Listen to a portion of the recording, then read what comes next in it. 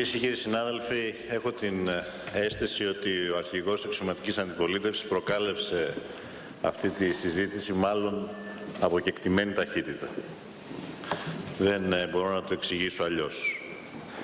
Από κεκτημένη ταχύτητα της ε, προ-αξιολόγησης περίοδου, της περίοδου των διαπραγματεύσεων για τη δεύτερη αξιολόγηση, όπου και μπορούσε όσο αυτή καθυστερούσε να εκμεταλλεύεται ένα αληθινό αίσθημα αγωνίας και αβεβαιότητας.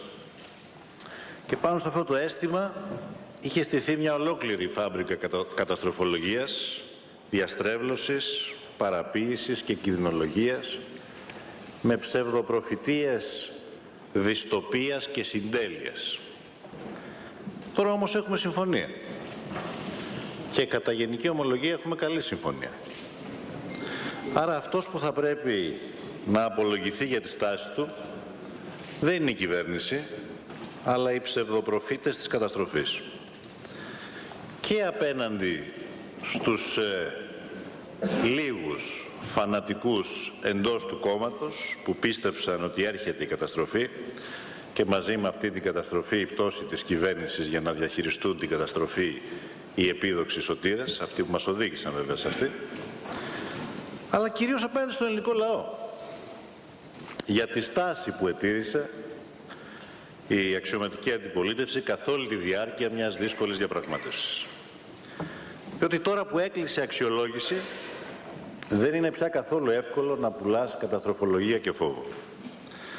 Αφήστε δε που στο διάστημα των δυόμιση εβδομάδων που μεσολάβησε από το, την απόφαση του Eurogroup της 15ης Ιουνίου, τα ίδια τα γεγονότα είναι τόσο συντριπτικά που δεν προσφέρονται για διαστρεβλώσεις, δεν προσφέρονται για παραποίηση, δεν προσφέρονται για κινδυνολογία.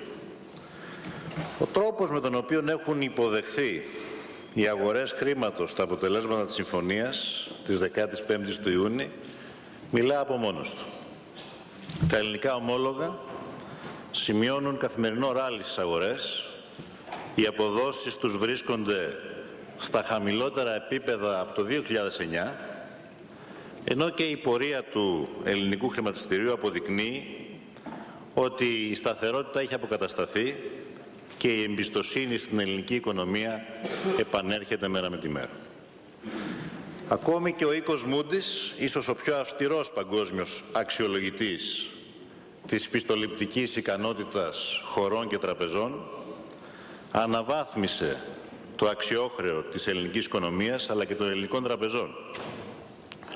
Ενώ οι ελληνικές επιχειρήσεις έχουν επιτέλους, μετά από πάρα πολύ καιρό, αρχίσει να δανείζονται στις διεθνείς αγορές χρήματος με ανταγωνιστικά επιτόκια.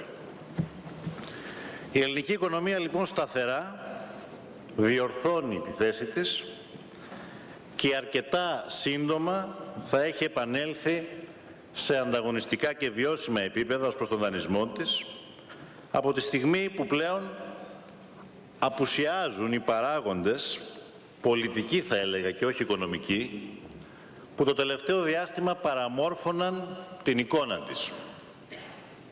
Διότι ξέρετε τα θεμελιώδη μεγέθη της ελληνικής οικονομίας δεν αντιστοιχούν στα σημερινά επιτόκια δανεισμού της. Είναι πολύ καλύτερα. Αρκεί να θυμίσουμε ότι η δημοσιονομική προσαρμογή έχει ολοκληρωθεί, καθώς υπερβαίνουμε κατ' εξακολούθηση τους στόχους του προγράμματος. Η ρυθμή ανάπτυξης είναι πλέον θετική, με προοπτική ακόμα μεγαλύτερης βελτίωσης, ενώ όλοι οι δείκτες της ελληνικής οικονομίας, οι δείκτες της παραγωγής, της απασχόλησης των εξαγωγών, της κατανάλωσης, αποδεικνύουν τη θετική της προοπτική. Τι σημαίνει όμως αυτό που είπα ότι απουσίαζαν οι πολιτικοί παράγοντες και παραμόρφωναν, ότι απουσιάζουν πια οι πολιτικοί παράγοντες εκείνοι που παραμόρφωναν την πραγματική εικόνα της ελληνικής οικονομίας. Σημαίνει πολύ απλά ότι η απόφαση του Eurogroup απαντά πιστικά στις επιφυλάξεις των αγορών για τη βιωσιμότητα του ελληνικού χρέους. Σε πλήρη αντίθεση με τους ισχυρισμούς της ε, Νέας Δημοκρατίας και του κ. Μητσοτάκη ότι δήθεν δηλαδή τα δώσαμε όλα και δεν πήραμε τίποτα.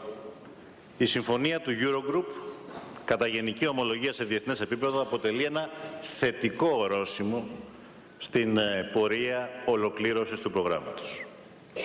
Διότι για πρώτη φορά περιλαμβάνει σαφείς δεσμεύσεις και όχι απλές υποσχέσεις για την εφαρμογή συγκεκριμένων ε, μέτρων ρύθμισης του ελληνικού χρέους. Και επιτρέψτε μου εδώ να γίνω πιο συγκεκριμένος. Σύμφωνα με την απόφαση αυτή, οι χρηματοδοτικές ανάγκες του ελληνικού δημοσίου δεν θα πρέπει από το 2018 και για το μεσοπρόθεσμο διάστημα να ξεπερνούν το 15% το καθάριστο εθνικού προϊόντος της χώρας. Πρώτα και κύρια λοιπόν τι έχουμε, έχουμε ένα ταβάνι, ένα όριο ως προς τις ανάγκες, τις ετήσιες ανάγκες χρηματοδότησης του χρέους μας, το οποίο δεν θα ξεπερνάμε ό,τι και αν συμβεί. Δεύτερον, έχουμε πλέον συμφωνήσει ως προς τα πλεονάσματα που πρέπει να επιτευχθούν στο μεσοπρόθεσμο διάστημα. Και εδώ χρειάζεται προσοχή διότι πολλά έχουν ακουστεί και ιδίως από την αντιπολίτευση, αντιπολίτευση ως προς αυτό το ζήτημα. Με τη συμφωνία λοιπόν για πρωτογενή πλεονάσματα 2% μετά το 2022 θα πρέπει όλοι να γνωρίζουμε ότι η Ελλάδα θα είναι η μοναδική χώρα στην Ευρωζώνη που θα βρίσκεται σε καθεστώς θετικής εξαίρεσης από το Σύμφωνο Σταθερότητας με βάση το οποίο θα έπρεπε μετά το 22 και κατά αναλογία του χρέους μας να είχαμε πλεονάσματα πολύ πολύ υψηλότερα πάνω από το 2,5-2,6%. Και επιτρέψτε με εδώ μια παρατήρηση. Διότι πράγματι αυτή είναι μια κρίσιμη συζήτηση. Η συζήτηση δηλαδή για το ύψος των πλεονασμάτων. Όμως από την πλευρά της ε, αντιπολίτευσης και ιδιαίτερα της Νέας Δημοκρατίας χρειάζεται θα έλεγε κανείς ιδιαίτερο θράσος να επικεντρώνεις σε αυτή τη συζήτηση. Διότι ο ελληνικός λαός έχει μνήμη. Πρόσφατα ήταν τα αποτελέσματα των ε, διαπραγματεύσεων κατά τη διάρκεια των κυβερνήσεών σας, όπου είχατε δεσμεύσει τη χώρα για πρωτογενή πλεονάσματα ύψους 4% μέχρι το 2030. Δυστυχώς λοιπόν ο ελληνικός λαός έχει μνήμη. Για να επιστρέψω όμως στα σημεία της συμφωνίας. Με δεδομένα τα πρωτογενή πλεονάσματα, περιγράφονται πλέον με σαφήνεια τα εργαλεία που θα χρησιμοποιηθούν ώστε οι χρηματοδοτικές ανάγκες της χώρας να μην υπερβαίνουν αυτό το χρηματοδοτικό ταβάνι. Μιλάμε δηλαδή για επιμηκύνσεις του σταθμισμένου μέσου όρου των οριμάνσεων των ελληνικών ομολόγων αλλά και για περίοδο χάριτος για τα επιτόκια που αμφότερες φτάνουν έως τα 15 έτη. Η τελική ποσοτικοποίηση βεβαίως εξαρτάται από τους ρυθμούς ανάπτυξης που θα προβλεφθούν τελικά από τον ESM σε συνεργασία με τους άλλους θεσμούς. Η απόφαση όμως δεν σταματά εκεί. Πηγαίνει ένα βήμα παραπέρα και εντάσσει στα διαθέσιμα εργαλεία ρύθμισης και την λεγόμενη ρήτρα ανάπτυξης που θα θυμίσω ότι αποτελούσε διαρκές αίτημα της ελληνικής πλευράς από το 2015 και τώρα παρουσιάστηκε στις διαπραγμάτευσεις ως ε, η γαλλική συμβολή, η γαλλική ιδέα πριν την απόφαση της 15ης Ιουνίου. Σύμφωνα με αυτή, αν η ανάπτυξη είναι χαμηλότερη από τις προβλέψεις των θεσμών και του ESM, τότε αυτομάτως θα έχουμε ακόμα μεγαλύτερες επιμηκύνσεις οριμάνσεων, αλλά και μεγαλύτερη περίοδο χάριτος στις πληρωμές επιτοκίων. Διότι υπενθυμίζω το σημαντικότερο στοιχείο. Οι ανάγκες του ελληνικού δημοσίου με βάση την απόφαση, την απόφαση δεν επιτρέπεται να ξεπερνούν το 15% του ΑΕΠ. Άρα λοιπόν εδώ δεν έχουμε απλώς μια υπόσχεση, ούτε καν θα έλεγα μια συγκεκριμένη δέσμευση.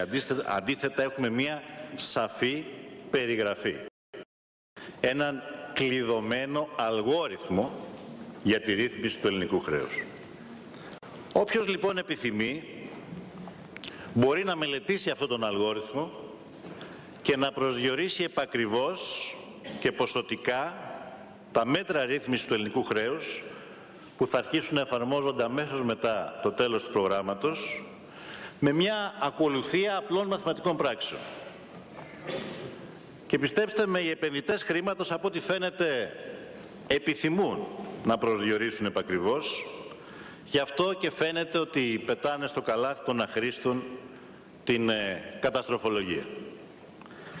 Και κυρίως πετάνε στο καλάθι των αχρήστων το επιχείρημα ότι δήθεν αυτή η τωρινή απόφαση δεν είναι τίποτα άλλο από μια απλή επανάληψη της υπόσχεσης του 2012 ένα επιχείρημα που ακούσαμε πολλές φορές από την πλευρά σας και επιτρέψτε μου την έκφραση αγγίζει τα όρια της ανοησίας και θα εξηγήσω γιατί.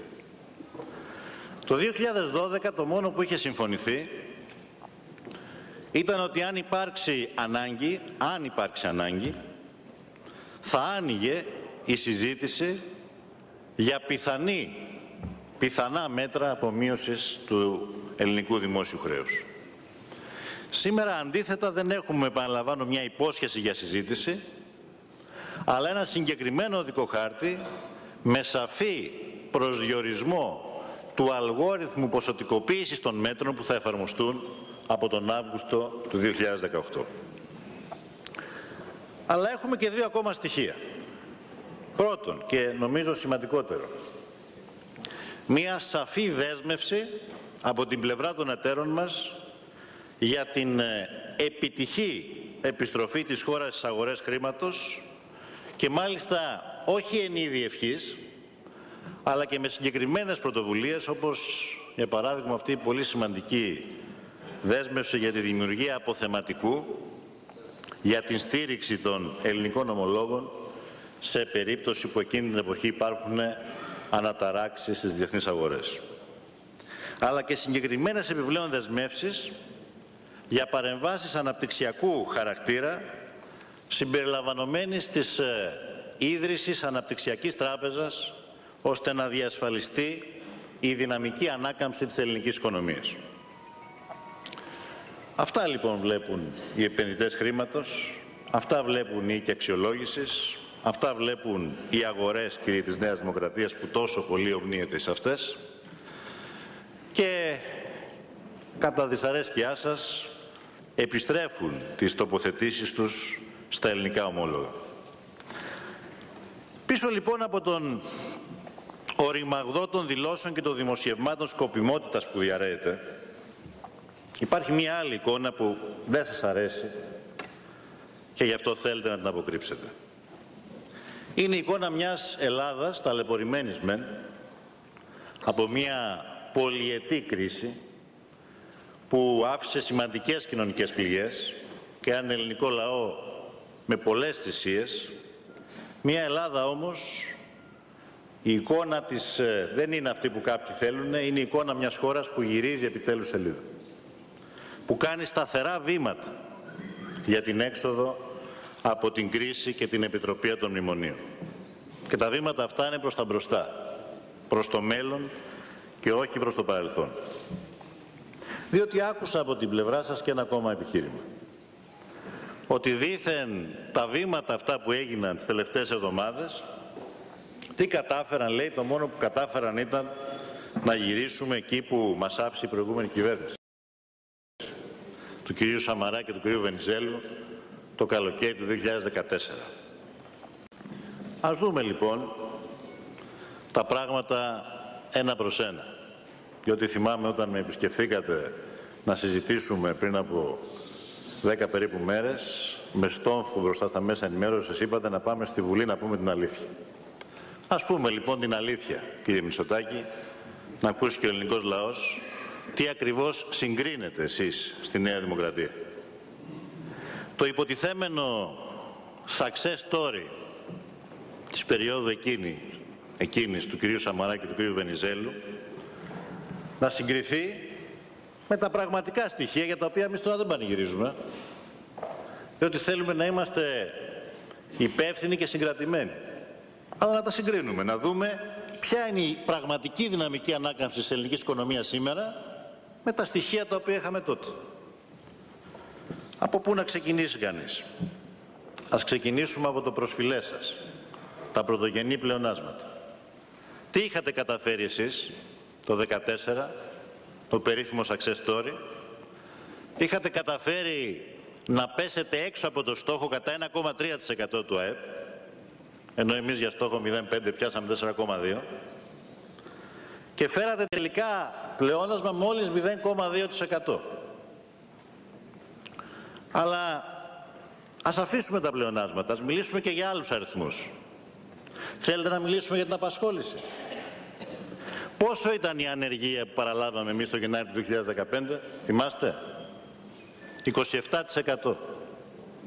Με συνολική απώλεια κατά την διετία του Σαξεστόρη, κυρίου Σαμαρά Βενζέλου, πάνω από 250.000 θέσεις εργασίας. Φανταστείτε να μην ήταν και success story πόσο θα είχαμε χάσει. Να μιλήσουμε για τη ρευστότητα που παραδώσατε τα ταμεία άδεια στην προσπάθεια να ναρκοθετήσετε την ε, εξαγγελθήσα πριν από τις εκλογές διαπραγματευτική προσπάθεια της ε, δικής μας κυβέρνησης.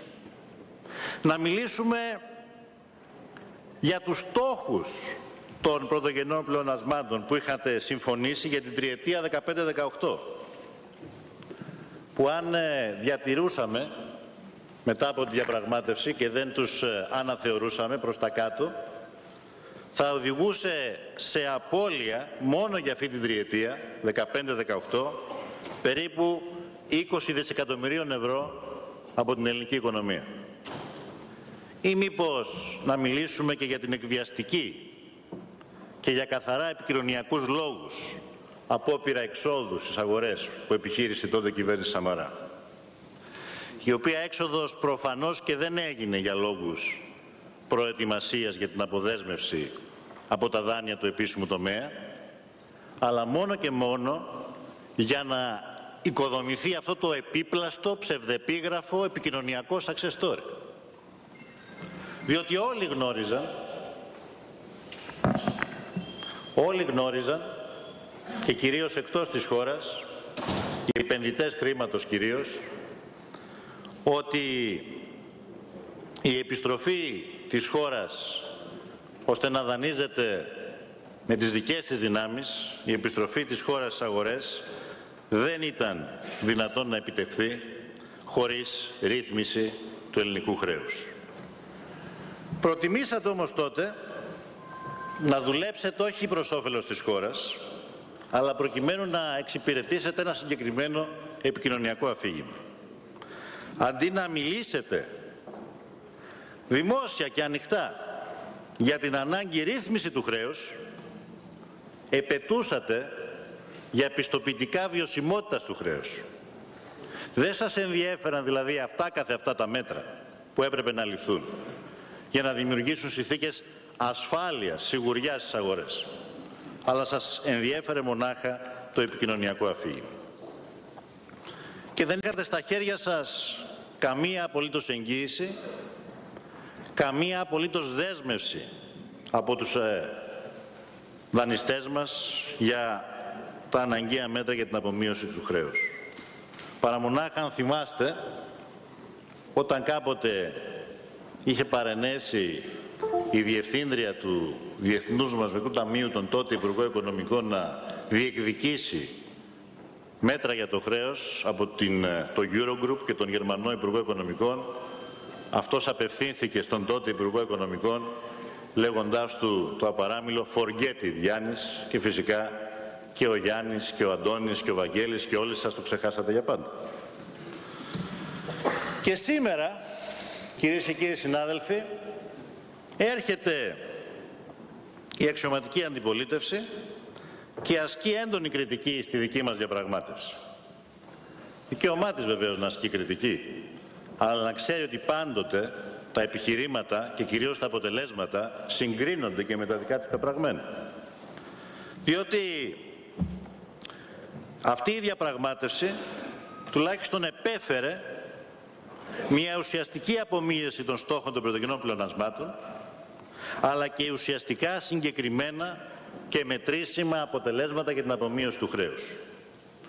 Αποτελέσματα που δεν μπορείτε να διαστρεβλώσετε όσο και να προσπαθείτε. Ούτε εσείς, ούτε όμως και διάφοροι ακραίοι συμμαχοί σας στην Ευρώπη και ακραίοι της ε, ευρωπαϊκής δεξιάς, κυρίως όμως θα έλεγα ακραίοι εχθροί της χώρας, διότι δεν μπορούμε να ξεχάσουμε ότι είχαν σχεδιάσει την έξοδο της χώρας από το ευρώ και τώρα έρχονται στην Ελλάδα να σας πουλήσουν πολιτική προστασία όπως ο ομοειδεάτης σας, ο κύριος Βέμπερ, ο Γερμανός επικεφαλής της Ευρωομάδας του Ευρωπαϊκού Λαϊκού Κόμματος. Συνοψίζοντας λοιπόν κυρίες και κύριοι βουλευτές, η σημερινή εικόνα της ελληνικής οικονομίας δεν έχει καμία σχέση με την τεχνητή εικόνα επιτυχίας που προσπαθήσατε να δημιουργήσετε το 2014. Σήμερα έχουμε στα χέρια μας μια θετική απόφαση για τη ρύθμιση του ελληνικού χρέους που πείθει τις αγορές. Έχουμε επίτευξη των δημοσιονομικών στόχων αλλά και σαφής βελτίωση όλων των θεμελιωδών μεγεθών. Έχουμε αποκατάσταση της εμπιστοσύνης και μεγάλη δυναμική ανάκαμψης με τεράστιο επενδυτικό ενδιαφέρον. Και με βάση τα παραπάνω έχουμε πλέον τη δυνατότητα για βιώσιμη και οριστική, αυτό είναι το σημαντικότερο, επιστροφή στις αγορές. Την οποία και θα προετοιμάσουμε με προσοχή, χωρίς βιασύνη και σε κάθε περίπτωση όχι για επικοινωνιακούς λόγους, αλλά για λόγους ουσιαστικούς. Για να εγγυηθούμε την ομαλή έξοδο από το πρόγραμμα τον Αύγουστο 2018. Για να εγγυηθούμε ότι η Ελλάδα δεν θα ξαναχρειαστεί πρόγραμμα στήριξης του επίσημου τομέα και πρόγραμμα προσαρμογής, αλλά θα μπορεί να αναχρηματοδοτεί το χρέος της αυτοδύναμα και με αυτόν τον τρόπο να ανακτήσει επιτέλους την οικονομική της κυριαρχία. Όλα τα παραπάνω όμως, εμείς επιθυμούμε να επιτευχθούν με την κοινωνία όρθια, με τις λιγότερες δυνατές πληγές και κυρίως με την προοπτική η ανάπτυξη που έρχεται να επουλώσει τις μεγάλες πληγές που δημιουργηθήκαν την επταετία της κρίσης. Και εδώ αν θέλετε βρίσκεται και η ουσιώδης διαφορά ανάμεσα σε ένα προοδευτικό φιλολαϊκό σχέδιο για την έξοδο από την κρίση και σε ένα συντηρητικό και νεοφιλελεύθερο σχέδιο για την έξοδο από την κρίση.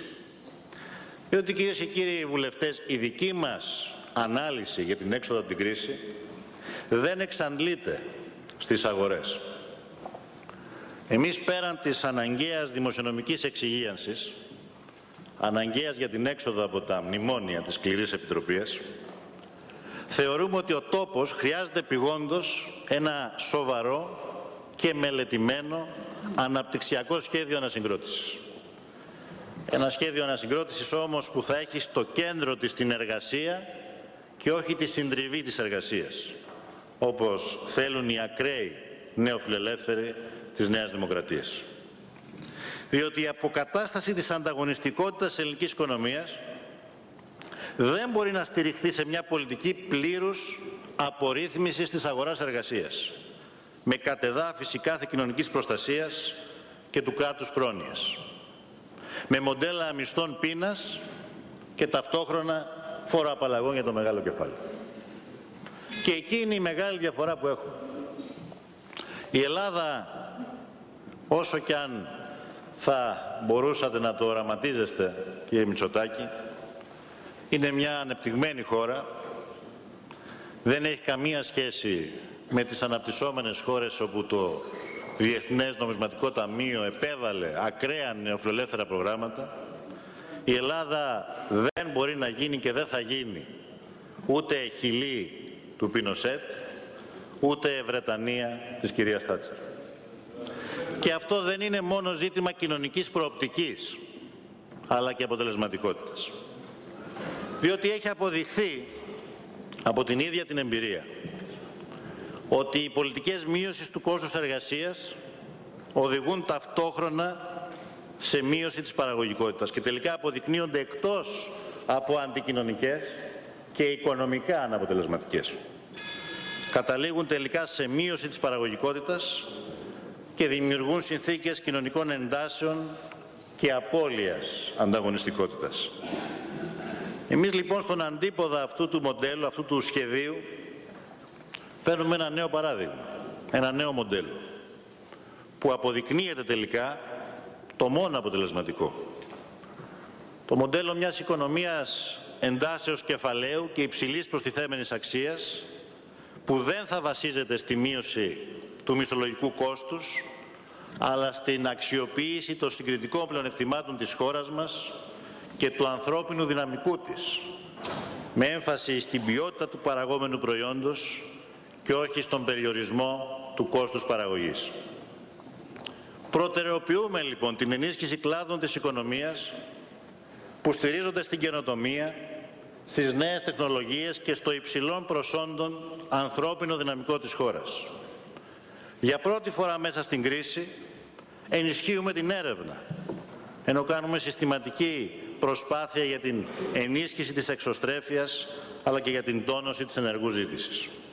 Στη ελληνική οικονομία να ενισχυθεί και από την τόνωση των εξαγωγών, αλλά και από την αύξηση της εσωτερικής ζήτησης με ένα ισορροπημένο μοντέλο που δίνει έμφαση στην αύξηση του μεριδίου των μισθών στο συνολικό ΑΕΠ, στην αύξηση του διαθέσιμου εισοδήματος και κυρίως τη δίκαιη διανομή του μέσω μηχανισμών αναδιανομής. Και είναι ακριβώς σε αυτά τα δύο αντιπαραθετικά σχέδια για το μοντέλο ανάπτυξης της ελληνικής οικονομίας που εντοπίζεται η καταστατική και επίμονη διαφορά αριστεράς και δεξιάς που τόσο θέλει να διαγράψει ο κ. Μητσοτάκης όσο φυσικά και οι υπερασπιστές του δίθεν μεταρρυθμιστικού κέντρου που στην πραγματικότητα παραδίδονται ανεφόρον σε όλες τις βασικές παραδοχές του νέου φιλελευθερισμού. Και είναι, αν θέλετε, και το δικό μας σχέδιο, όχι το δικό σας, που ήδη έχει αρχίσει να αποδίδει κάποιους θετικούς καρπούς παρά την βαριχημονιά των μνημονιακών μέτρων. Και θα σας δώσω μόνο ενδεικτικά μερικά στοιχεία. Να ξεκινήσω από το πιο σημαντικό, το θέμα της απασχόλησης. Διότι πιστεύω δεν θα διαφωνήσει κανείς σε αυτό, αν υπάρχει ένας εθνικός στόχος σήμερα, είναι να ξανακερδίσουμε την εργασία, την απασχόληση, που φτάσαμε σε ποσοστά ανεργίας απαράδεκτα, όχι για ευρωπαϊκή, αλλά για χώρα που σέβεται τον εαυτό της. Την περίοδο λοιπόν αμέσως μετά την κρίση με Πρωθυπουργό τον κύριο Παπανδρέου στο συνολικό ισοζύγιο χάθηκαν 543.000 θέσεις εργασίας. Την περίοδο τη μικρή που ανέλαβε υπηρεσιακός Πρωθυπουργός ο κύριος Παπαδήμος χάθηκαν άλλες 93.000 θέσεις εργασίας. Και την περίοδο με Πρωθυπουργό τον κύριο Σαμαρά και στην κυβερνήτη τον κύριο Βενιζέλο χάθηκαν 259.000 θέσεις εργασίας.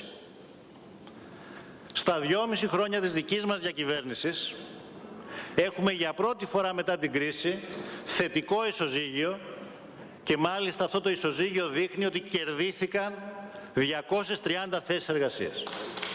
230.000 θέσεις εργασίας.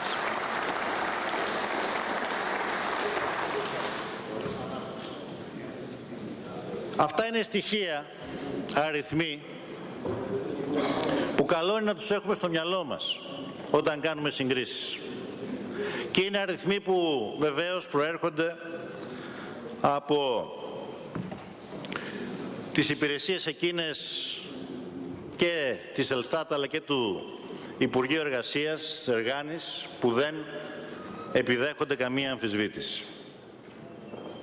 Την ίδια στιγμή γιατί ξέρετε, και πράγματι θα έχει δίκιο κάποιος να πει, σημαντικό πράγμα να αλλάξει, να αλλάξει πρόσημο δείκτης, να πάμε από την απώλεια θέσεων εργασίας στην ε, δημιουργία θέσεων εργασίας. Βεβαίως είναι ακόμα μακρύς ο δρόμος, αλλά το ότι σιγά σιγά έχουμε καταφέρει και έχουμε καλύψει τουλάχιστον το έδαφος των δύο προηγούμενων χρόνων είναι σημαντικό.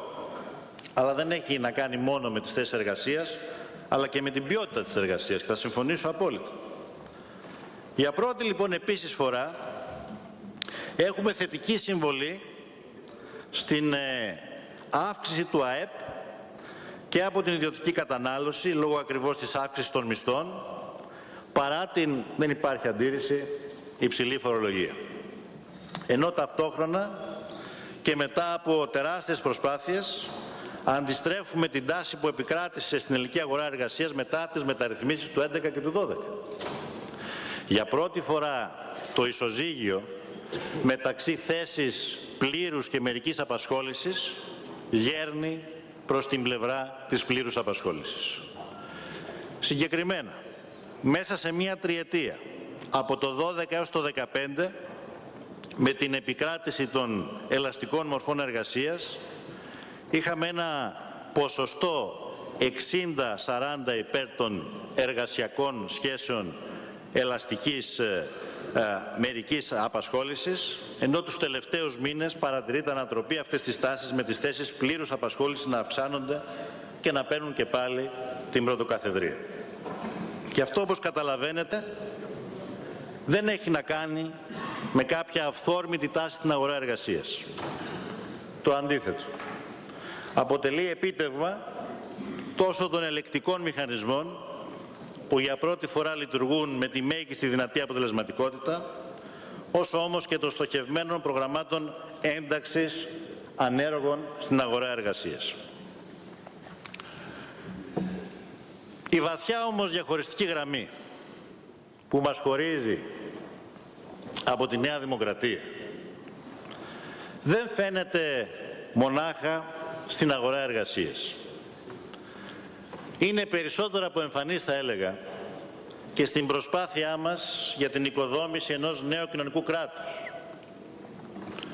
Καταρχήν να, αναφερθώ στα λεγόμενα αντίμετρα που εμείς ψηφίσαμε και εσείς καταψηφίσατε και θα μπουν σε εφαρμογή το Γενάρη του 19, πρώτη πρώτου, διότι ο στόχος για το πλεόνασμα του 18, όσο και να παρακαλούν και να προσεύχονται κάποιοι, θα επιτευχθεί, όπως όλοι άλλωστε πλέον προβλέπουν, και τα μέτρα αυτά θα εφαρμοστούν. Να ξεκινήσω από το μέτρο για την επιδότηση ενοικίου με 600 εκατομμύρια ευρώ που θα καλύψει σχεδόν τα μισά νοικοκυριά της χώρας που διαμένουν σε ενίκιο ή έχουν στεγαστικό δάνειο και η οποία μπορεί να φτάνει μέχρι και τα 1000 ευρώ ετησίως ανά νοικοκυριό, ένα ποσό που πράγματι Υπάρχουν νοικοκυριά που το έχουν πολύ μεγάλη ανάγκη. Η εξαιρετικά σημαντική ενίσχυση της επιχειρηματικής πολιτικής μέσα από την αύξηση κατά 250 εκατομμύρια ευρώ του προϋπολογισμού για τα οικογενειακά επιδόματα που σήμερα βρίσκεται στα 650 εκατομμύρια και με στόχο να ενισχυθεί το επίδομα από το πρώτο και το δεύτερο παιδί ενισχύοντας παράλληλα και τρίτεκνους πολυτέκνους η επέκταση των προγραμμάτων σχολικών γευμάτων που τόσο πολύ κοροϊδεύατε υποτιμητικά, υπεροπτικά εγώ θα έλεγα, το προηγούμενο διάστημα σε δημοτικά και γυμνάσια περιοχών με υψηλά ποσοστά ανεργίας και φτώχειας προκειμένου να καλυφθεί σχεδόν το 50% των μαθητών δημοτικού και γυμνασίου όλης της χώρας. Η αύξηση κατά 50% του συνολικού αριθμού παιδιών προσχολικής ηλικίας που θα μπορούν δωρεάν να εγγραφούν σε βρεφονιπιακούς σταθμούς. Με τον τρόπο αυτό από τα 90.000 παιδιά που δικαιούνται να εγγραφούν σήμερα το 19 οι θέσεις θα φτάσουν τις 120.000 και το 2020 θα ξεπεράσουν τις 135.000. Η ριζική μεταρρύθμιση στην ε, χρηματοδοτική συμμετοχή των ασφαλισμένων στην ε, φαρμακευτική δαπάνη. Αφού το 19 για όποιον έχει εισόδημα ως 700 ευρώ η συμμετοχή θα είναι μηδενική. Ενώ για όσους έχουν από 700 έως 1200 θα μειωθεί κατά 50 περίπου της 100. Η πρόβλεψη για δημιουργία επιπλέον 30.000 θέσεων εργασίας τόσο στον ιδιωτικό όσο και στο δημόσιο τομέα. Με στόχο την ανάσχεση, κυρίως με στόχο την ανάσχεση φυγής των νέων επιστημών και με την υποχρέωση των εργοδοτών να διατηρήσουν τους εργαζόμενους για τουλάχιστον έξι μήνες ακόμα μετά την ολοκλήρωση του προγράμματος. Δεν είναι όμως μόνο όσα θα γίνουν το 19 ή και νωρίτερα θα έλεγα κάποια από αυτά, αν όπως όλα δείχνουν έχουμε συνεχώς τόσο σημαντική υπεραπόδοση της οικονομίας, αλλά είναι και όσα έχουν ήδη πραγματοποιηθεί, όσα έχουν ήδη γίνει. Και θέλω να μιλήσω ιδιαίτερα για τον τομέα της υγείας, ως παράδειγμα. Την ώρα που εσείς με τις πολιτικές σας εξωθούσατε την πλειοψηφία της ελληνικής κοινωνίας εν μέσω πρωτοφανούς οικονομικής κρίσης και της πραγίας στα ιδιωτικά νοσηλευτήρια. Εμείς ήρθαμε και παρά τις δυσκολίες δώσαμε πρόσβαση σε 2,5 εκατομμύρια ανασφάλιστους συμπολίτες μας σε υπηρεσίες δημόσιας υγείας. Και όλοι οι πολίτες πλέον μπορούν να πάνε σε ένα δημόσιο νοσοκομείο και να νοσηλευτούν χωρίς να φοβούνται για το λογαριασμό που θα τους έρθει μένοντας ανήμποροι χωρίς ιατρική περίθαλψη. Καταφέραμε επίσης να αναστρέψουμε την εικόνα πλήρους καταστροφής και τη ροπή που ήταν για τέσσερα χρόνια η δραματική μείωση προσωπικού και για πρώτη φορά από τον Οκτώβριο του 2015 και μετά έχουμε αύξηση του προσωπικού στα δημόσια νοσηλευτήρια. Από τον Οκτώβριο του 2015 σήμερα, παρά τα ασφιχτικά πλαίσια για προσλήψεις στο δημόσιο που τα τηρούμε, δεν βγαίνουμε έξω από αυτά, έχουμε ενισχύσει το Εθνικό Σύστημα Υγείας με περίπου 9.000 άτομα που έχουν αναλάβει υπηρεσία τα τελευταία δύο χρόνια. Και από αυτούς οι περίπου 3.000 είναι μόνιμο προσωπικό και έχουν προκηρυχθεί ή αναμένεται να προκηρυχθούν το επόμενο διάστημα άλλες περίπου 9.500 θέσεις, εκ των οποίων οι περίπου 5.000 θα είναι μόνιμο προσωπικό. Και παραλαμβάνω όλα αυτά μέσα στις δεσμεύσεις που έχουμε αναλάβει για την τήρηση των στόχων σε ό,τι αφορά τον αριθμό των ε, εργαζόμενων στο δημόσιο τομέα. Αλλά αυτά γίνονται γιατί ήταν και παραμένει απόφασή μας να δώσουμε απόλυτη προτεραιότητα στην διάσωση του συστήματος υγείας που εσείς συνειδητά είχατε οδηγήσει στην κατάρρευση. Και επόμενος μεγάλος στόχος μας στην υγεία είναι μέχρι το τέλος του 2017 να έχουν τεθεί σε λειτουργία 239 νέες τοπικές μονάδες υγείας σε 80 διαφορετικές αστικές περιοχές της χώρας, κατά κύριο λόγο σε αυτές που αντιμετωπίζουν το πιο εξουμένο κοινωνικό πρόβλημα. Θα μου πείτε τώρα, κύριοι της Νέας Δημοκρατίας, αυτά για σας ίσως είναι μικρά γράμματα. Το γνωρίζουμε. Αν και εδώ που τα λέμε όπως αποκαλύπτεται και από την εξεταστική για τα σκάνδαλα στην υγεία και ιδιαίτερα από την περίπτωση του Ντινάν, για πολλούς από εσάς και για τις οικογένειές σας δεν υπήρχε θέμα αγωνίας για το πώς θα νοσηλευτείτε σε ένα δημόσιο νοσοκομείο ή πώς θα πληρώσετε τα νοσήλια σε ένα ιδιωτικό, γιατί νοσηλευόσασταν τζάμπα στον Τινάν, η υγεία των κορόιδων.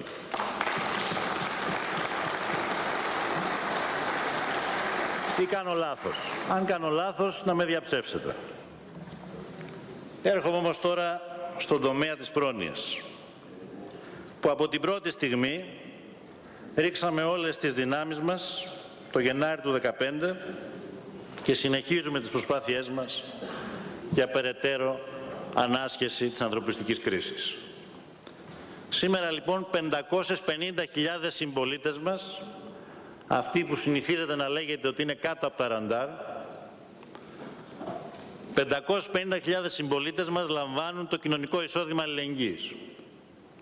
Και διαρκές μέλημά μας είναι αυτό να επεκταθεί σε όλους όσοι το έχουν ανάγκη. Αλλά προχωράμε ακόμη περισσότερο προκειμένου να αντιμετωπιστούν τα βαθύτερα αίτια της κρίσης. Και γι' αυτό το λόγο και το 10% των δικαιούχων του κοινωνικού εισοδήματος αλληλεγγύης πολύ σύντομα, κάνοντας την αρχή μέσα στο 2017, θα έχουν τη δυνατότητα να ενταχθούν σε προγράμματα απασχόλησης για να μην έχουν ανάγκη ένα επίδομα για να μπορέσουν να εξασφαλίζουν τα απολύτως απαραίτητα προς το ζήν. Διότι ο στόχος μας δεν είναι άλλος παρά η πλήρης εξάλληψη της ακραίας φτώχειας. Μπορεί να μην τη δημιουργήσαμε εμείς, αλλά είμαστε εμείς που έχουμε την εντολή και το καθήκον να την εξαλείψουμε και θα το κάνουμε πράξη. Αναρωτιέται λοιπόν κανείς. Αναρωτιέται λοιπόν κανείς. Τι σχέση μπορεί να έχουν όλα αυτά που σας περιέγραψα με το πρόγραμμα της Νέας Δημοκρατίας. Το σκληρό και αντικοινωνικό πρόγραμμα, θα προσέθετα εγώ. Ένα πρόγραμμα που στοχεύει στην περαιτέρω κατεδάφιση του κοινωνικού κράτους. Ένα πρόγραμμα που δεν κρύβει ότι θα υπάρξουν και μαζικές απολύσεις. Ένα πρόγραμμα που δεν κρύβει, ίσα ίσα το διατυμπανίζει, ότι θα ενισχυθεί χάρη της ανταγωνιστικότητας η εργοδοτική αυθαιρεσία. Και δεν κρύβει, μάλιστα τον διατυμπανίζει και εντόνως, ότι θα παραχωρηθούν ευαίσθητοι τομείς δημόσιων υπηρεσιών σε ιδιωτικά συμφέροντα και μάλιστα με μεγαλύτερο δημοσιονομικό κόστος, γιατί αυτή είναι η πραγματικότητα. Κυρίες και κύριοι βουλευτές, οι διαχωριστικές γραμμές ανάμεσα στο ΣΥΡΙΖΑ και τη Νέα Δημοκρατία είναι τόσο σαφείς, όσο σαφής ήταν και θα είναι πάντα η διαφορά ανάμεσα σε πολιτικές κοινωνικής προστασίας και στον νέο φιλελευθερισμό. Και για να δανειστώ μία φράση της κυρίας Γεννηματά, δεν είμαι βέβαια σίγουρος ότι την εννοούσε όταν την είπε, πράγματι κύριε Μητσοτάκη, μας χωρίζει πολιτική άβυσος από το πρόγραμμά σας και από την πολιτική σας. Και αυτό το γνωρίζει καλά και ο ελληνικός λαός. Όπως όμως ο ελληνικός λαός γνωρίζει καλά και κάτι άλλο. Ότι με το πρόγραμμα και με τις θέσεις σας δεν μπορείτε να πείσετε κανέναν παραπάνω από ένα σκληρό πυρήνα ψηφοφόρων της Νέας Δημοκρατίας και όχι των παραδοσιακών ψηφοφόρων. Σας ξέρει καλά ο ελληνικός λαός κύριε Μητσοτάκη. Σας ξέρει και σας έχει δοκιμάσει. Άρα να προσποιήσετε το καινούριο εσείς ειδικά είναι το τελευταίο στο οποίο θα μπορούσατε να επενδύσετε. Τώρα πλέον δεν μπορείτε να επενδύσετε ούτε και στην καταστροφή και στην κοινωνολογία, αφού τα ίδια τα γεγονότα σας έχουν πλέον διαψεύσει. Τι σας έχει μείνει λοιπόν, να επενδύετε σε μία τεχνητή πόλωση, στην στοχοποίηση και την λασπολογία απέναντι σε κυβερνητικά στελέχη και στη δημιουργία τεχνητών κοινωνικών εντάσεων. Πότε παίζοντας παιχνίδια με τη δημόσια υγεία, προτρέποντας τους συνδικαλιστές της ΔΑΚΕ στην καθαριότητα να αλλάξουν στάση για να συνεχιστεί η απεργία εν μέσω πρωτοφανούς καύσωνα και ενώ τα αιτήματά τους είχαν ικανοποιηθεί. Πότε προκαλώντας συγκέντρωση αστυνομικών στα, στην πλατεία εξαρχείων και ευελπιστώντας να μετατραπεί μια περιοχή της Αθήνας σε πεδίο μάχης και πότε ξαναπέζοντας το χιλιοπεγμένο έργο δήθεν κυβερνητικών παρεμβάσεων στον χώρο της δικαιοσύνης. Γιατί, Γιατί ο Υπουργός Άμυνας έκανε το μεγάλο έγκλημα να παροτρύνει κάποιον που ισχυριζόταν πως έχει στοιχεία για τη μεγάλη υπόθεση, την μεγαλύτερη υπόθεση πανευρωπαϊκά εμπορίας ναρκωτικών, δεν ίδρωσε τα αυτή κανενός, πάνω από δύο τόνοι ηρωίνης. Και τον παρότρινε να τα δώσει στη δικαιοσύνη για να διαλευκανθεί αυτό το μεγάλο έγκλημα.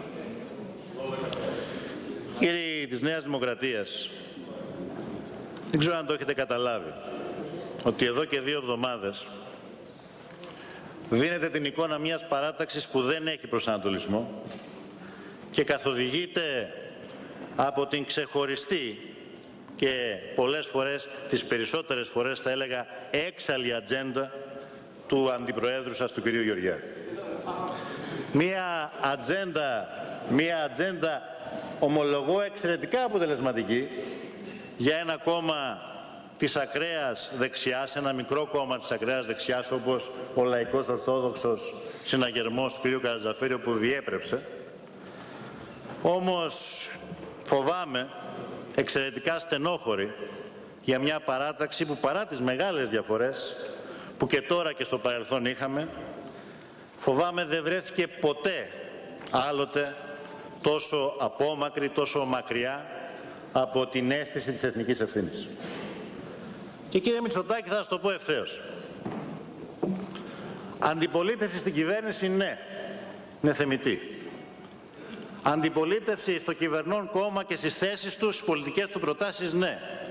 Όσο πιο σκληρή, τόσο το καλύτερο για τη δημοκρατία.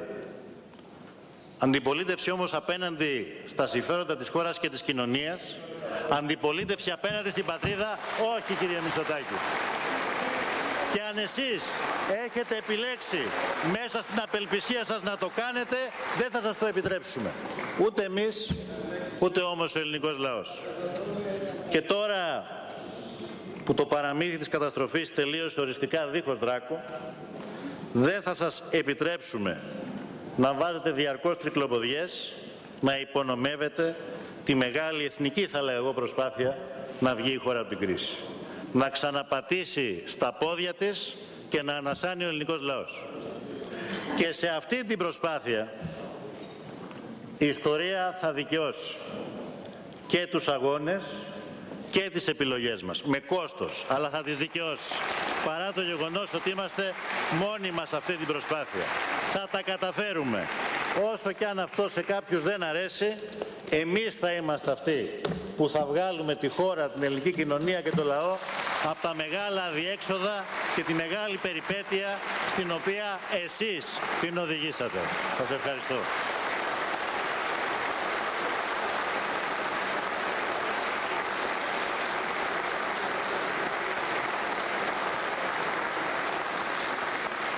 Παρακαλώ πολύ.